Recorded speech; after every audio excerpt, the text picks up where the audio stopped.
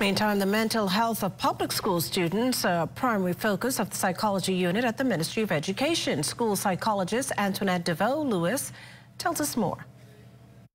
Our school counselors are, are the first responders on the school grounds. They, they're the first responders for any mental health issue on the school grounds. And so once a case will be deemed, we call emergency cases. Once those are done, they act, they um, go right away. Yeah, they address it right away. But prior to that, we have programs.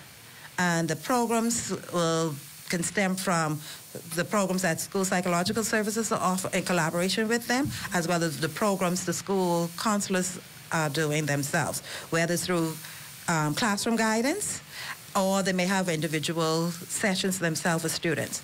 So, so I think their last statistics they had like they've seen had at least in the month of March, upward to the month of March, um, 1,200 sessions with students dealing with personal and social issues. Hi there, I'm Corval Pfeiffer. Thank you for watching our YouTube page. Be sure to like, comment, and subscribe for all things ZNS.